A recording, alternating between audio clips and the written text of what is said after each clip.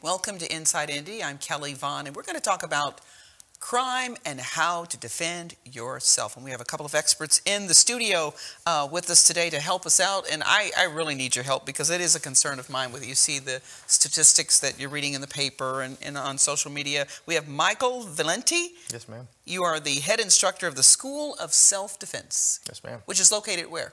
Uh, it's located uh, right in the middle of Carmel. All right, all right. And then we have Amanda Valenti, uh, your wife, your better half, okay, who's a senior student with the School of Self-Defense. Welcome to the show. Thank you. Uh, off the air, we were talking about statistics, and you said you knew a few numbers that would help people in our community understand where do we stand as a city when it comes to crime? Well, as far as crime is concerned, um, the I'm, I'm always more concerned with people understanding who, who they're actually likely to be attacked by. Okay. Uh, probably one of the biggest misnomers is that um, you are most in danger walking to your car in the middle of the night. Whereas, I'm not telling you you shouldn't be paying attention, but the stats actually show that about 80% of attacks on women are done by someone they know well. Ooh. by boyfriends, friends, uncles, and what have you. Mm. Um, and that about 90 to 95% of all assaults on everybody, not just women, involve the use of some sort of weapon a knife, a gun, a bat. How many? Um, about 90 to 95%. Wow. A very lar- uh, large percentage of especially um, like street assaults, like muggings and things like that, are mm-hmm. going to involve the use of some sort of weapon. Mm, that's scary. Yes, ma'am. Yeah. Okay okay, okay. So, so how do we become prepared, especially when we're talking about it's somebody we know, because I might not be armed yes, or able to defend myself because I don't even see it coming. Absolutely. Well, the obviously the, the most important thing is is to have uh, good knowledge of what are the signs that lead up to a violent um, relationship uh -huh. ahead of time is really important. Being able to oh, recognize wow. violence in individuals. You are so deep. Okay. And, and, and, under, and understanding that psychology. Because the thing is, the longer you are in an abusive relationship, the harder it is to get out of it. So the sooner you can recognize that things are going south, the easier it will be for you to remove yourself from it. Um, and see, I didn't see this coming because I was just thinking we're going to talk about, as you said, you're in your car, you're yeah. in the parking lot, right. somebody attacks you, and you're telling me something totally different that I didn't anticipate. Well, wow. If you think about things that people traditionally think of as self-defense tools. You know, they got pepper spray, maybe they're going to hold their keys and try to jab at somebody with that. Those are a lot more powerful tools towards a scenario that's a lot less likely. You know, if a stranger grabs you at an ATM, absolutely. Pepper spray in the face, you know, knee him in the groin. You can do whatever damage you want to get out of there because you don't know that person. But if you're thinking about, you know, uh, I don't know, your drunk uncle who is, you know, getting a little too rough mm -hmm, mm -hmm. or something like that, you don't want to pepper spray him. so something like that, that's pretty rude next Because then mama's, your mother's going to be mad yeah. because you pepper sprayed your, her brother. Yeah. Right. So something like, you know, hand-to-hand self-defense, which is a huge part of what we specialize in, becomes a lot more important because then you can kind of take care of the person while you're also taking care of the situation.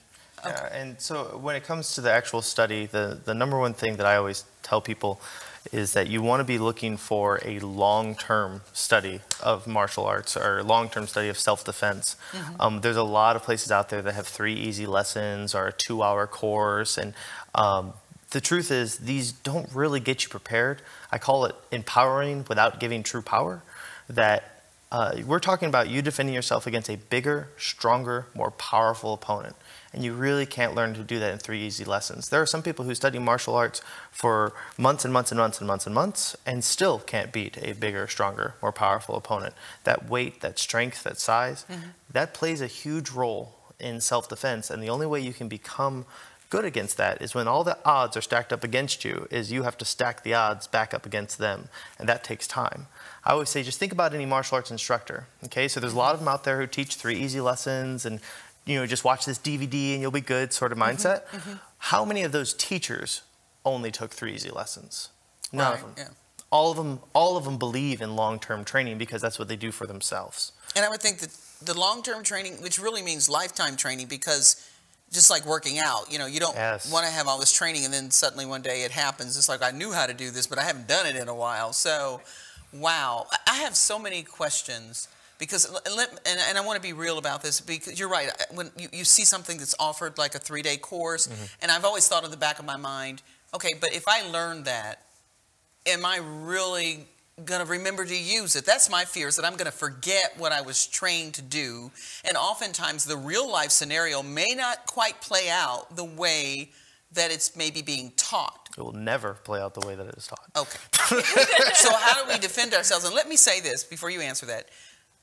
The reason I'm so passionate about this because I think that women especially, and I know everybody's victimized, male or female, Absolutely. but women especially, that we are obviously physically weaker and so I've never understood that if we know our disadvantages, we're also, I think, very emotional beings. So if I know I have that, it's just like a handicap. How come my parents or anybody's parents does they don't train their girls to defend themselves? And if you sit around and watch forensic files like I do, and you see, you know, we're getting knocked off over and over again, and I'm thinking, what if they had known something different? It's almost like we don't even have the the thought to try to fight back. Like, oh well, he's bigger than me, or whoever. I'm just, I should just die. I mean, you know, and you hear every now and then there's a victim who fights back, who mm. goes, they might die, but I'm gonna die trying. So some of it's psych psychological and some of it's physical. So if you have that, if you have that disadvantage, how come we're not trained to, to be prepared? What's really crazy is when you hear about those victims that fight back, they always make the news. Why, why is that news that somebody fought back when they were being attacked? That's right. really sad. Right. That yeah. it's a rare occurrence. Yeah, yeah. The, the I truth, agree. The truth is that um, it's just it's a cultural thing. A lot of people relate um, aggression and violence um, and strength as masculine characteristics. But all of us who are, you know, we, we, we all know that, you know, mothers are incredibly strong. It's, it's a feminine characteristic. Oh, my Every bit just of, throw the shoe. Yeah. and the you know, broom. It's, yeah. it's, it's, a feminine characteristic as, as well. Um, I had a woman one time come up to me and ask me, uh, to teach her like three-year-old daughter how to do self-defense. And I don't teach kids. I don't think it's really appropriate to have a kid throwing eye jabs in the middle of the playground. Okay. Uh, okay. But, but she asked, well, what do I do to get, get her prepared for bullies? And I said, well, does, uh, do you have a son? She said, yes. I said, or abductions, I'm thinking. Yeah. I said, does the dad wrestle with the son? And she said, uh, yeah, of course. Mm -hmm. I said, does anyone wrestle with the daughter? No. No. And that's the difference, is that that same play that prepared me as a child to protect myself on the playground was just my dad wrestling with me. It's the same thing that mm-hmm. that mm-hmm. you know it just ingrains in the person the idea of fighting back. Lots of times when women come into my class, I almost have to teach them the whole point of a fight. You know, like when people are protecting themselves, their their normal thought is I need to get away, right? But that's actually not how you protect yourself. It's that you are retargeting the attacker, that they are now the victim and you are the assailant. And that's the only way you actually get away. Now, I agree, because I can remember I went to the University of Washington in Seattle, and they had a, a course on, at, on campus, and I remember being in the self-defense class for the campus kids, and the lady was like, okay, now you want to hit him here so you can get away and you can, you just want to injure him. And I remember, and I said it out loud. I said, no, I want to kill him. and everybody laughed. They thought it was funny, but I was thinking, why are they thinking you know, and even if I didn't kill him, my mind is on I, I I'm attacking, counterattacking. I'm yeah. not just trying to get away. So I thought I was crazy because everybody was like, we just kind of want to hurt him, like they knew they could control yeah. the outcome. Yeah, I, yeah. I've I've always said don't don't fight because you're protecting yourself. Fight because you're offended that they thought you were a victim. Mm. Okay, I like that. Okay, I like that. Yeah, yeah. Mm -hmm. And I think it's a certain amount of being angry and. Um, even when I when I do go out on a parking lot at night, I walk like I have an attitude. I walk like I wish you would come over here. I, I and, and, I just carry myself that way. It, it's a it's a defense mechanism. So you know, and it's kind of like you know you're walking hard, and I'm got this thing like yeah I'm mad, and I wish you would say something to me. I'm really I'm really just trying to get from the parking lot at Walmart alive, but I immediately get out of my car and I think, I wish somebody would step this way. I'll cut you. I ain't got no knife. Okay, yeah. but that's my mindset. Is that is am I crazy? Is no, nobody else does that? No, that, no. that's that's actually that's that. that's actually, it, it's just fine. Here's, here's, here's, here's, I just hope thing. I don't run into you at Walmart, right? Here, here's, the thing, okay? Um, I'm, I'm going. It's kind of trivial, trivializes this a little bit, but it makes it puts in a good perspective who, you or anybody watching, who wants to have a hard day at work? Who wants to have just yeah. a really difficult day at work? None Nobody, of us. No. We always want an easy day at work. Remember that uh, that mugging people is a job to them. This is a part of how they make their money. Okay. Now I know it's just crazy, right? it is incredible. I mean, he's telling me stuff I never even but, thought but, about. But, but, you, but it's true though, right? That this is one of the ways that these people get money is by mugging people, right? Well, if you make it look like you are going to make their job hard, they'll just move on to somebody else. That makes sense. So that is, I've heard people say, but that's real. Absolutely, absolutely. Uh, the, the, the, the one of the uh, there's this great study that was done in the 2000s where they interviewed 100 convicted rapists and they find out found out like what they what they looked for what they didn't look for what they tried to stay away from oh, and gosh. one that, that always stood out to me was that every single one of them all 100 said said things like umbrellas made them really nervous because that could be used against them just the mere thought that this person would have a tool to fight back made it so that they weren't targeted interesting which doesn't excuse someone from studying the actual physical side of self-defense, you still need to know how to protect yourself right. because there's still crazy people out there. But as far as the assailant on the street, um, it, they attack people who are vulnerable. You know, there's not a wild animal on earth that targets the healthiest zebra. They go after the weaker one, the one that looks like it's going to be an easy day's work. So my little attitude might come in handy. That's a great attitude. Yeah. I love it. Yeah. I, I, was robbed actually, uh, maybe three years ago in my sister's driveway. Oh, she's going to kill me for saying that. Okay, cut. No. so, but um, I was sitting there looking at my phone, and um, somebody came up to the side of the car. He was fully masked, and he banged on the door, mm -hmm. and he says, "Open up the door." And I go, you know, I thought it was my niece joking, and I turned around, this guy completely masked, and all I could think was, dang, how did he get me? Because I, I, I, pride myself as like, you're not going to get me. Mm-hmm. And he got me. And I, and I thought, what do you do? You got a split second to say, do I try to start the car? He's got a gun. Mm-hmm. So I opened the door, which was locked. It was locked. My window was up. And I just thought, okay, okay, this is how it happens on forensic files. This is how you end up dead. And so I thought he was going to shoot me. I said, is he going to shoot me in the head? Is he going to shoot me in the shoulder? And he just asked for stuff, you know, money. And I was digging through my purse and trying to get things, which he should have known that was a disaster. And so then finally, I think he thought he got money. And then he just said, um, have a nice day, and closed the door and took off. But this is like 11 o'clock at night. Nobody drove by. People are always driving by in the street. But I was terrified. And I think over and over again, what could I have done differently? And I don't know. I had no weapon. I had nothing. Uh, he got me. Well, let, well, let's let's make one thing very clear. You're alive today, right? Yeah. So you made the right decision. Hmm. Right? Yeah. If someone is brandishing a gun and they want to shoot you, they want to shoot you, they would have already shot you. Usually, if someone's pointing a weapon at you, they want something from you. Give it to them. It's not worth your life. Mm -hmm. You know. Now, if they give you some other order, get on the ground, you know, come with me, then we're fighting back, hardcore. But if all I have to do to make them go away is hand me my hand them my wallet, it's, it's this is this is easy.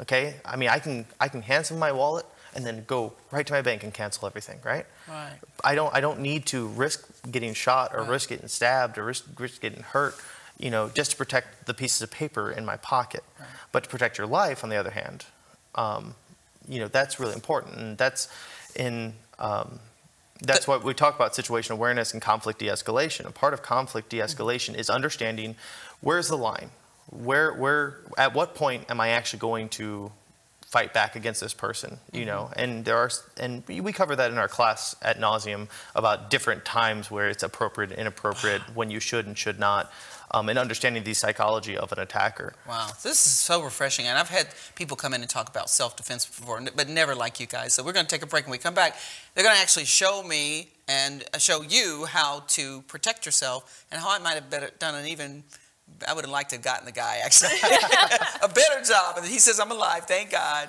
Uh, we'll talk about that and more when we come back.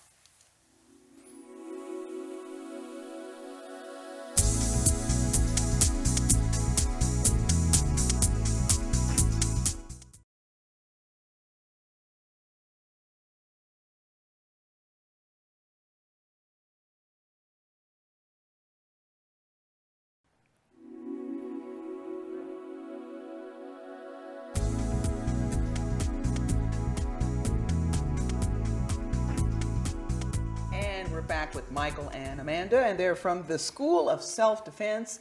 And we've been um, talking about the psychology of defending yourself, and that a lot of it starts in a person's mind. Absolutely.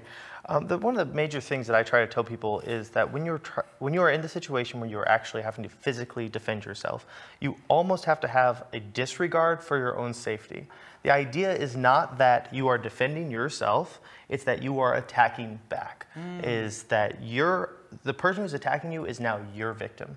And you can only really get this kind of mindset through the long-term training as opposed to short-term training because if you're doing this as a part of your daily life, just like you would exercise or something like that, um, it becomes that you are no longer fearful of the violence, that it is a part of your day, that to you it's just another day in the gym. I've had several of my students have the misfortune of being attacked. Mm-hmm. All of them, 100% of them, ended the fight in under three seconds. That's one Mississippi, two Mississippi, three Mississippi. You're wow. safe. All of them said they experienced no panic and that they didn't have to think about what technique needed to be done. It just did it on its own because they were so used to it. And that you can only get through that long term training. Okay. Love it, love it. So you're going to teach us some techniques today. Can we give a couple of scenarios? Absolutely. So 90% of all assaults, particularly on women, end up on the ground. Um, if you mm. think about most like rape scenarios, obviously that's going to be down there. Okay. Um, what I'm going to do is I'm going to walk you through a basic maneuver that uh, Amanda's going to demo on me about how to turn the table on a rapist. Okay, okay I, I want to see this. So we're going to start start on the ground. So um, there's a lot of things that lead to you being in this situation here um, mm-hmm. that um, obviously we'll talk about in the self-defense 101 course. But once we're actually here in this situation where the guy's between your legs, he's trying to take the pants off, okay. we can turn the situations using a really basic maneuver. So what she's going to do is she's going to first eliminate the space from me. This way I can't pull back against her. Wow. Then with a simple maneuver with her legs that once again we'll teach here, Whoa. flips me over here and she's on top of the fight. That's an eye gouge. I think that was an elbow. That's I couldn't see what's going on. uh, and then she stands up and if I try to get up, you know, she can do whatever she wants to me here as I'm wow. trying to get up. And so done in just a little bit more real time, that if I'm down, down here, just like this. Wow, that comes in handy in a lot of scenarios, actually. yeah, absolutely. Wow. So I guess then, I guess part of when we see that, we think, okay, you're you're stronger, mm-hmm. and and it almost doesn't look real. So what is it about that that actually allows her to overcome this your strength? One word. Leverage. Physics. Leverage. Leverage. Leverage. Absolutely. It's a force that you cannot see, but you cannot resist. And I would think it being unexpected because typically a, a guy that was raping somebody or attempting to rape someone wouldn't expect that. Mm-hmm. Yeah, this technique was developed by a guy by the name of uh, Helio Gracie in the 50s. He was 133 pounds and had asthma, and he was also one of the greatest martial arts champions um, okay. ever. Um, okay. So very small man could beat very larger men just using leverage. Okay. So you're going to teach me something here, yes, right? ma'am, okay. absolutely. So what am I doing? I'm going to have to put my papers um, down here. So for, first I'm going to show you the footwork and then I'm going to show you how it, how it applies, okay. okay? So what you're going to do is you're going to take your left foot and you're going to step it back like this. Okay. And then you're going to drop your head and then you're just going to unwind. Mm -hmm. okay. Keep your head low through the entire unwinding motion. So we call this dancer. Do this one more time. Take the step back, drop your head low, keep it low as you unwind. Now bring your head back up. Okay. okay. so what I'm going to do, I'm going to show you some of the situations where this is very effective. So I'm going to okay. have you face this way here. Okay, so this is called the escort position. So I come behind you, I say, you're coming with me. Okay. So I want you to take that same step, come underneath, and just push right through. Boom, just ah. like this. So we're going to do that a little bit more live here. Okay? okay, so I just want you to do it quickly. Okay, so I'm here, I try to make you move with me, and just like that, wow. okay. you're moved out of the way. it's kind of like a duck. Yeah. Like a, I, you feel like I'm ducking. But the thing yeah. is this, what we like to do is something called motion grouping. One thing solves several problems. So I'm going to put you in a choke. You're going to do the exact same. I'm not actually going to squeeze because okay. obviously I like you. Okay. But I'm here. I want you to do the exact. And then I might. yeah. I want you to do the exact same motion. Oh. So mm -hmm, just okay. take take this step and step it behind. Duck your head out, and then you're out just like this. Oh. Okay. Now as you make that movement, now don't actually do it, but just pretend that you're striking me in the groin. You can use any hand you want. Okay. Just on your way through, you'll see. Yep. Yeah. You can hit there. Make the step. You can use your other hand here if you want to hit there. Ah. Bam. Okay? Okay. That makes sense? Yeah. makes And so, so that motion. try that at home tonight. Now she, she now she's once again she's done the, the long-term training, so I can get as aggressive as I want with her. Okay, so I'm really gonna pull her back, and you're gonna see how quickly she can get out of here. So I'm here, just pull back here. Oh, girl. Okay, so right. Oh, I love this. so and that's leverage. That instead of her resisting me, she goes with the motion. Since I'm pulling backwards, right? Puts her in this situation. And some people worry about getting hung up here, but you notice the groin strike uh, makes it a little harder to hold on there. That makes sense? Yeah, yeah. And I guess though, again, getting back to the psychology of it all is that oftentimes women have this thing about, oh, I don't want to hurt you. And that thing of, and and even I, you know, I'm tempted to feel that way, but I have to say, no, I want to hurt you. If I have to kill you, that's okay. And, I, and it's almost like we, we can't go to war, don't go to war. And so it's interesting to me how, like, the fact that we can't even go to war. Uh, and I know some women, we are now, but I'm just saying, you know, it's always been like, you can't go there. Yet they never thought, like, if somebody comes inside your home, that's war. Absolutely. And, and I want to win. And so it's interesting how they say, oh, don't go to war, but nobody wants to protect you, or people would not want you to die in your own home. And to me, your home is no different than your country. absolutely. oh, Absolutely. they're telling me we've got a minute. So, how can people sign up for uh, what you're offering? This is awesome. You guys are well, awesome. well, right now we got a really great. It's a 13-week course. Um, it's called Self Defense 101. You can sign up at our website, theschoolofselfdefense.com. We're also on YouTube and Facebook and Twitter, so you can check us out there. Um, and then you can contact us at our phone number. okay, which is on the screen and the website.